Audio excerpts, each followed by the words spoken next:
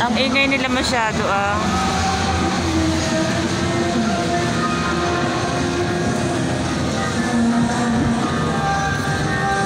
Hindi makikita yung mga kumakanta kasi ang ingay nila.